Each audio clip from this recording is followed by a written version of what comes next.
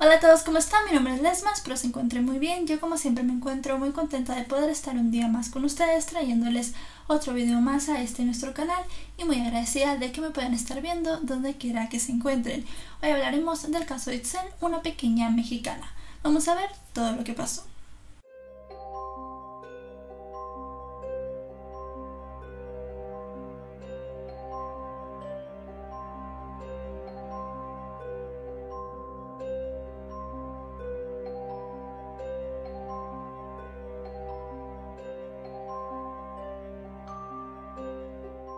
Itzel Noemí Quiroga Ceratos nace el día 3 de enero del año 2012 en San Luis Río Colorado, Sonora. Es hija de Miguel Ángel Quiroa y de María Luisa Ceratos. Entre sus conocidos, la pequeña es llamada Mimi. Era una niña normal como cualquier otra. Tenía siete años para cuando todos los sucesos se dieron lugar y no tenía ninguna preocupación más que la que tiene un pequeño a esa edad y era la de ser feliz, jugar con sus amigos, asistir al colegio y ser buena con sus padres. La felicidad invadía la vida de Itzel, pero esta felicidad sería truncada en el mes de mayo del año 2019, para ser más específica, un día jueves 23. Este día la madre de Itzel sale a trabajar como todos los días a las 5 de la mañana. Se lleva una gran sorpresa cuando regresa a las 6 de la tarde y se da cuenta que todos los vecinos y sus demás hijos están buscando a la pequeña Itzel Noemí porque tienen varias horas de no haberla visto. La mujer obviamente se preocupa y comienza a preguntar qué ha pasado en el lugar. Los vecinos le dicen que la pequeña estaba jugando con los otros niños del vecindario cuando de repente le perdieron la pista.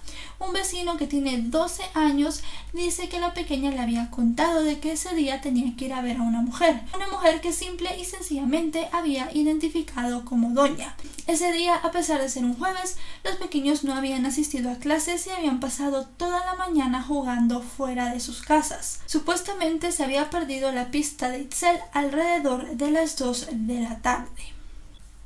La madre de Itzel dice que cuando ella deja de ver a su hija, a las 5 de la mañana la deja dormida con un pantalón de mezclilla. Los vecinos aportan la información de que seguramente la pequeña se cambió porque ellos la habían visto con un pequeño short de mezclilla y una blusa verde. Se da esta información para que la empiecen a buscar por los alrededores. Se comienza a buscar a la pequeña de puerta en puerta. Son sus padres los cuales van preguntando a los vecinos si la han visto y también van entrando a las casas para ver si la pequeña no se encontraba en el interior de alguna de estas, pero toda esta búsqueda no da sus frutos se dirigen a las autoridades quienes declaran una alerta Amber para la pequeña Itzel y comienzan a buscarla. Se comienzan a organizar también grupos de vecinos. Se sabe que en la búsqueda de Itzel participaron activamente alrededor de 200 personas. También llegaron a aportar el dato de que en esa tarde, prácticamente a la misma hora que Itzel había aparecido, una camioneta blanca desconocida había estado merodeando a los niños que jugaban en la calle. También se llegó a agregar la información de que la pequeña Itzel se había ido a jugar con su hermana mayor y algunos otros amiguitos a un canal cercano de su casa, un canal el cual solían frecuentar mucho y a la pequeña le gustaba bastante. La hermana mayor de Itzel le dice a su madre que en cierto momento de la tarde la vecina llegó por sus hijos y la hermana mayor de Itzel se fue con ellos. La pequeña no solía hacerle caso a su hermana, que era tres años mayor que ella, así que decide quedarse sola en el lugar y este es el último momento en el que alguien ve a la pequeña. En el momento en que se tiene la información del canal, se hace un despliegue en áreas cercanas al lugar y también se lleva a un abuso, la cual llega a buscar hasta en las partes más profundas del lugar. Los vecinos y la familia de Itzel pidieron que por favor se drenara toda el agua del canal para ver si la pequeña no se había ahogado en alguna de estas partes, pero esta petición fue ignorada por las autoridades. Dijeron que con el trabajo del abuso era completamente suficiente, pero obviamente no se llegó a encontrar a la pequeña ni tampoco se llegó a encontrar ninguna pista que los pudiera guiar hacia su paradero. Las autoridades penan toda la zona de San Luis Río Colorado. Se llega a saber también que la familia comenzó a recibir llamadas de extorsión. Muchas personas llamaban diciendo que tenían secuestrada a la pequeña o que sabían dónde estaban, pero para dar información querían que la familia desembolsara grandes cantidades de dinero, cantidades de dinero que obviamente ellos no tenían. Un donante anónimo dijo que daba una recompensa de 1.500 dólares para cualquier persona que pudiera dar información sobre dónde se podía encontrar a la pequeña.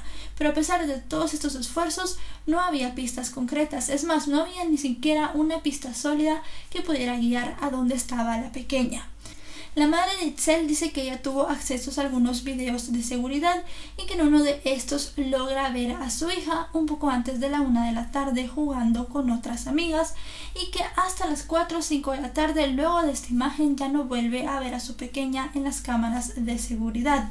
En internet hay un video el cual publicó un diario del lugar en el cual se ve a algunas niñas jugando. El dato de la ropa que tenía puesta Itzel ese día es importante debido a este video y es que en el video se puede apreciar una niña que puede tener un vestido o una falda, pero recordemos que tanto la madre como los vecinos no dijeron que Itzel tuviera ninguna de estas prendas. Su madre dijo que la había dejado con un pantalón de mezclilla y los vecinos que la habían visto con un short igualmente de mezclilla. Así que realmente no se sabe si este video es el video de Itzel o si simple y sencillamente su madre estaba hablando de otro. Otra cosa que pone en duda la veracidad del video es el lugar donde fue grabado. Según varias personas que viven en el lugar, la calle donde vivía Itzel era una calle de terracería, una calle que no estaba pavimentada y la calle que sale en el video sí lo está. Muchas otras personas dicen que esta era una calle donde vivían familiares de la niña, pero hasta ahora las autoridades no se han pronunciado sobre la veracidad de estas imágenes. Otro hecho que también fue captado en imágenes y que causó un poco de consternación y un poco de equivocación entre las personas que buscaban Itzel fue un video donde una niña muy parecida a la pequeña sale en compañía de un hombre. Se sabe que estas imágenes fueron captadas en Hermosillo, Sonora, pero luego de la investigación policial se pudo saber que la niña no tenía nada que ver con la pequeña desaparecida y que el hombre tampoco había estado cerca del lugar. Se llegaron a utilizar también perros adiestrados para buscar el rastro de la pequeña. Como les digo, la policía peinó toda la zona de San Luis Río Colorado. Vieron en el desierto, en los canales, también en las casas de los vecinos, en terrenos baldíos, descampados, en cualquier lugar donde se pudiera encontrar a la pequeña, pero no hubo ningún resultado positivo. Parecía que mientras más pasaban los días, menos posibilidad había de encontrar a la menor. Pasaron siete días de búsqueda, siete días de tormento para la familia de Itzel Noemí, hasta que al fin el día 30 de mayo en horas de la tarde se hace un descubrimiento que paralizó a todos los vecinos. Sementerrada en un predio a 50 metros del canal donde se le había visto por última vez a Itzel, se había encontrado un cuerpo, una menor a la cual le habían quitado la vida. Se sabe después de la identificación que es la pequeña Itzel Noemí. Se la lleva para poder hacer la autopsia y esta determina que la causa de la muerte había sido asfixia por sofocación. Se encontró también en el conducto de la nariz de la pequeña algunas muestras de arena. Se supo también que la menor había sido abusada sexualmente.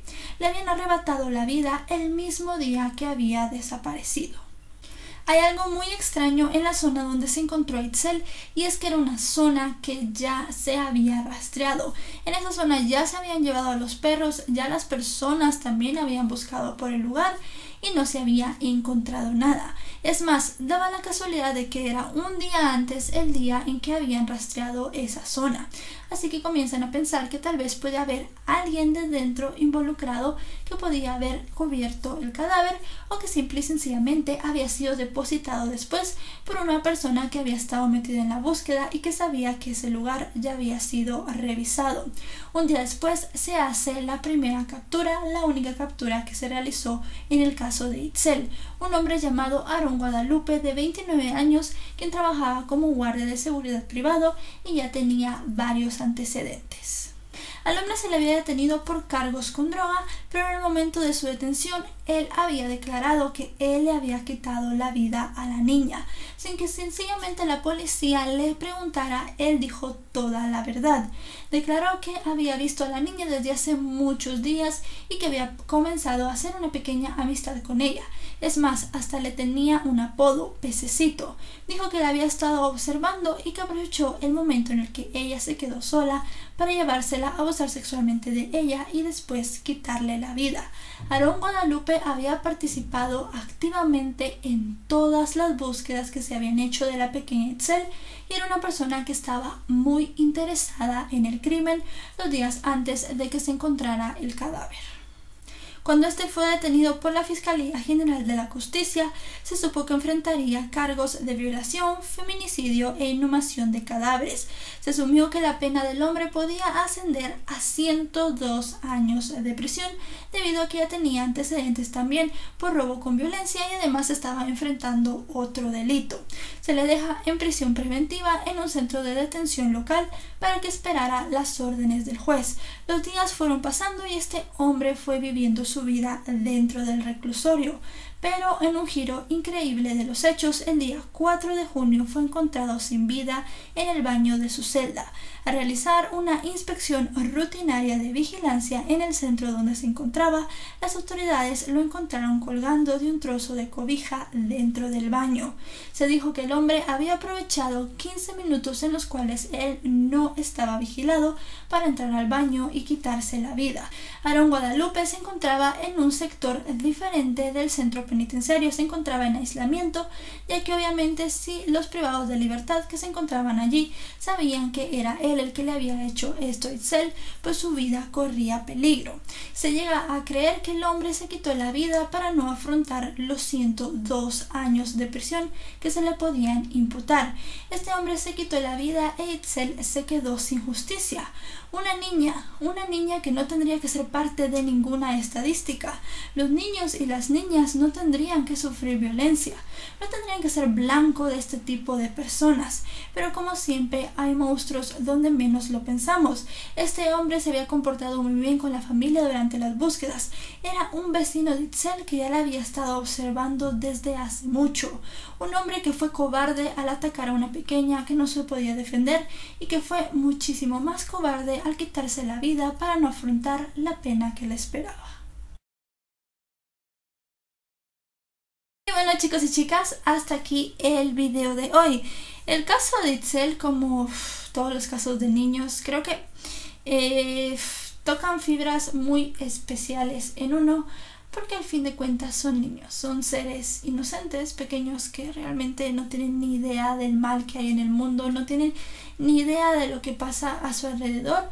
Este hombre ya la tenía vigilada, este hombre ya la había visto y aprovechó la primera oportunidad que la vio sola, la primera oportunidad que tuvo para poder eh, quitarle la vida prácticamente.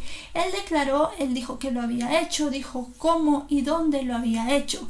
Lo que no terminó de quedar claro era qué había hecho con el cuerpo los otros seis días, porque recordemos que Itzel se la buscó siete días. En esos siete días no se sabe dónde la tuvo él, porque esa zona donde ella se encontró semi enterrada ya había sido revisada. Él participó activamente en la búsqueda, seguramente para ver qué zonas ya habían sido revisadas, para ver en dónde podía dejar el cadáver, pero realmente no se llegó a saber en dónde la había tenido y tampoco se va a llegar a saber porque este hombre se quitó la vida. Mucha gente cree que este hecho es muy extraño, el hecho de que este tipo se quitara la vida casi que enfrente de las narices de las autoridades que lo estaban cuidando y creen que tal vez hay gato encerrado en toda esta situación. Lo lamentable de todo es que ya no se va a saber porque obviamente al morir este hombre, el único implicado, el único sospechoso que tenían, pues se le dio carpetazo a la investigación. Mucha gente iba a juzgar también a los padres de la pequeña por el hecho de que se mostraban pues muy tranquilos en algunas de las entrevistas, pero hasta este momento tampoco se ha logrado comprobar o se ha llegado a pensar de que ellos tengan algo que ver de manera oficial. Lo que sí se sabe es que se le arrebató la vida a una pequeña inocente, siete años solamente en este mundo y tuvo que ver de frente los horrores más grandes que pueden haber aquí. Nuestros niños y nuestras niñas no tendrían que sufrir de este tipo de violencia. Nuestros niños y nuestras niñas tendrían que estar tranquilos viviendo su infancia y tendrían que estar pues protegidos por las leyes, pero lastimosamente esto no es así. El caso de Itzel no es el primero, sino que hay muchísimos más, muchísimos más casos que quedan en el olvido y con los cuales pues no se llega a hacer justicia. Es una tristeza todo esto. Mi nombre es Lesma. Si este contenido les gusta, se pueden suscribir. Actualizamos tres o cuatro veces a la semana. Mis redes sociales en la descripción de este video. Nos vemos hasta otro. Adiós.